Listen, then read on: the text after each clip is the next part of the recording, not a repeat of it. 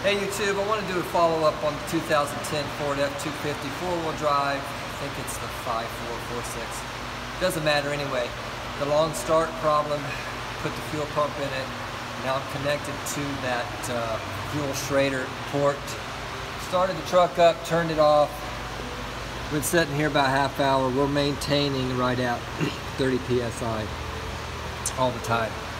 So that's what you should see. You shouldn't see it do this when you release the key. And you know it's leaking back. So there's the Schrader connection down there. So uh, would have shot one of changing the fuel pump, but everybody should know how to take a tank out and do that. Just wanted to give you a diag on it in case any of you are having this problem. Thanks for watching. Tune in. We'll shoot videos soon. Thanks.